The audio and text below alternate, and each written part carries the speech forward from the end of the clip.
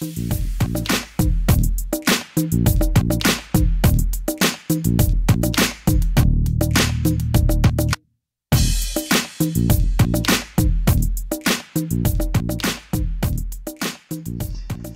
tomto krátkém testu se pokusíme jednoduchým způsobem zjistit, eh, jaké frekvence jsou u stanice Intec DRS 5070, tudíž i u stanice Intec MT 5050, protože eh, DRS je stolní verze té ručky.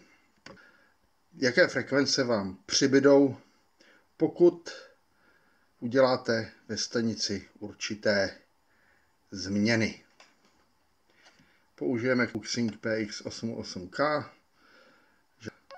necháme ho skenovat s krokem 6,25 v pásmu PMR. Uvidíme, co z něj vypadne za údaje. Takže jedeme na devátý kanál PMR.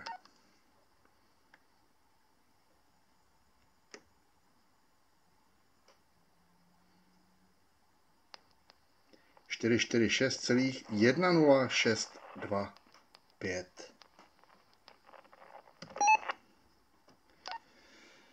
Další kanál číslo 10. čtyři čtyři šest celých jedna jedna osm sedm pět kanál číslo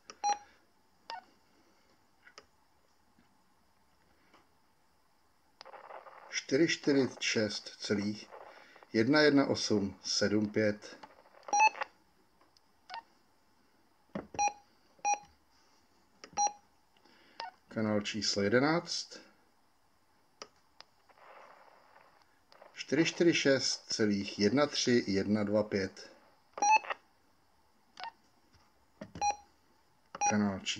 sedm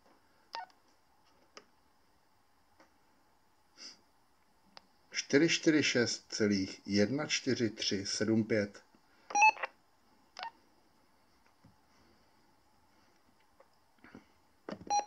Kanál číslo 13.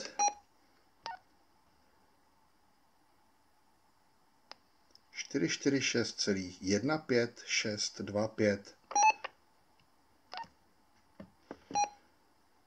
Kanál číslo 14 446 celých 16875 kanál číslo 15 446,18125 a nakonec ještě kanál číslo 16